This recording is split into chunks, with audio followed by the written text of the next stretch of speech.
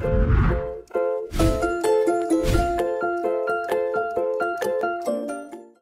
is our new pedal box, part number PEDBOX3, PEDBOX 3. The dimensions are pretty much the same as the old version and you can find all the dimensions either in our catalogue or online. Uh, this one is a, a cable clutch version and there is a hydraulic clutch version also available.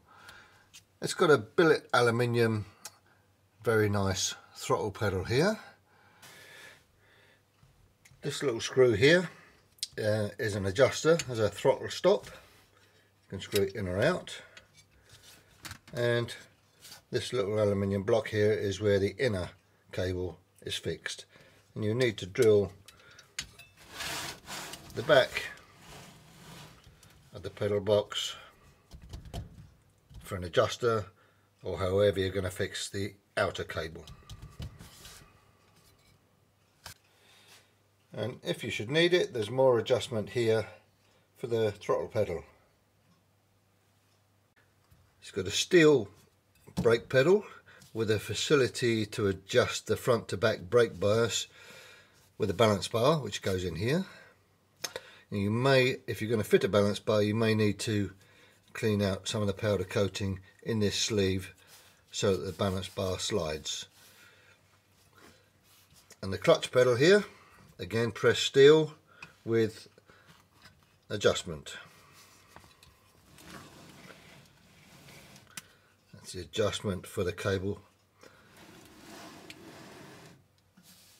And there is where the, the outer cable is fixed. You'll need to drill a hole there whichever size you need and attach the cable with a clevis on there. There's the holes for the two brake master cylinders.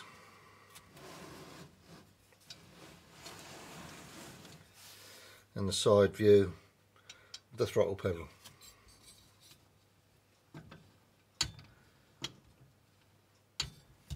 Very nice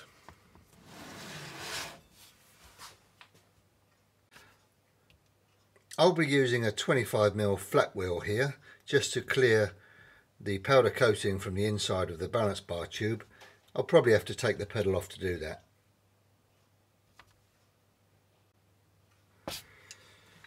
Uh, I've cleaned out the powder coating from inside the balance bar sleeve and you can see now it's a very nice sliding fit in the sleeve.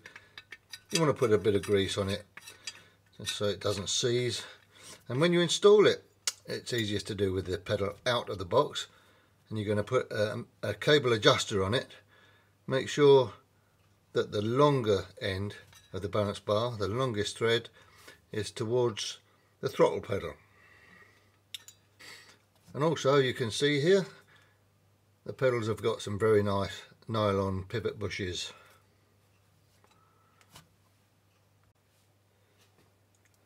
you can see that I've installed the two master cylinders I've used 0.7s here but you can use whichever combination you need to suit your brake setup.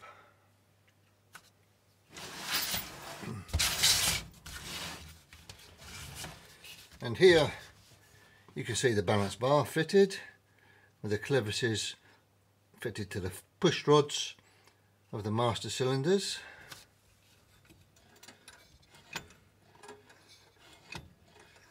There you go. And I fitted the manual balance bar adjuster here. I've just put a, a panhead screw to hold the adjuster to the balance bar but you can use an M4 grub screw when you come to fit yours. You can see that the balance bar slides in and out of the sleeve. So once you've got it adjusted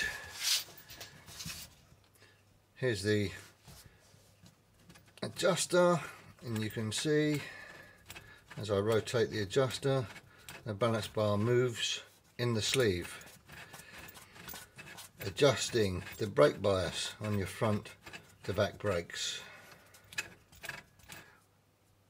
When the bush on the balance bar is fully over to the right towards this cylinder, this cylinder is getting more pressure than this one. If you move the balance bar over to the left, means this cylinder is getting more pressure than this one. In the middle, it's 50-50. And you can mount this balance bar adjuster knob through a 20mm hole, somewhere convenient on or under your dash. But remember, this adjustable setup is only legal for track cars. It's not legal for road cars. The balance bar needs to be fixed in position permanently to comply with IVA to be legal on UK roads. And we supply a little balance bar locking kit which enables you to do that.